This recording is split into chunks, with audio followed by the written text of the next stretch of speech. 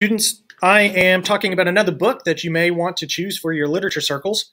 This one is called Bomb, and it's by Steve Sheinkin, and it is nonfiction, meaning it is all true. It all happened. Uh, on the cover, it says, The Race to Build and Steal the World's Most Dangerous Weapon. On the back, it says, In December 1938, a chemist in a German laboratory made a shocking discovery. When placed next to a radioactive material, a uranium atom split in two. That simple discovery, dealing with the tiniest of particles, launched a cutthroat race that would span three continents. The players were the greatest scientists, expert spies, hardened military commandos, and some of the most ruthless dictators who ever lived. The prize? Military dominance over the entire world. This is the story of the plotting, the risk taking, the deceit, and the genius that created the world's most formidable weapon. This is the story of the atomic bomb. And now I will read a little bit of the first page. He had a few more minutes to destroy 17 years of evidence.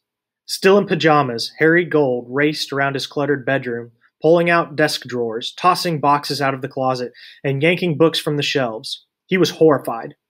Everywhere he looked were incriminating papers a plane ticket stub, a secret report, a letter from a fellow spy. Gold ripped the papers to shreds, carried two fistfuls to the bathroom, shoved them into the toilet, and flushed. Then he ran back to his bedroom, grabbed the rest of the pile, and stumbled on slippers down the stairs to the cellar, where he pushed the stuff to the bottom of an overflowing garbage can. The doorbell rang. Gold walked to the door. He took a few deep breaths, trying to slow his heartbeat, then opened the door and saw the men he expected Federal Bureau of Investigation agents Scott Miller and Richard Brennan. They'd been questioning Gold for days, showing him pictures of known spies, demanding information about his connection to these people. It goes on to talk about uh, all of the Russian spies that were going on, trying to figure out how they could steal information on making the atomic bomb.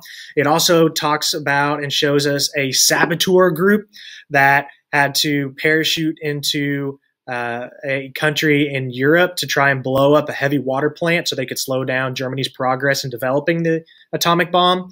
Uh, and it talks about Dr. Oppenheimer and his progress making the atomic bomb for the United States.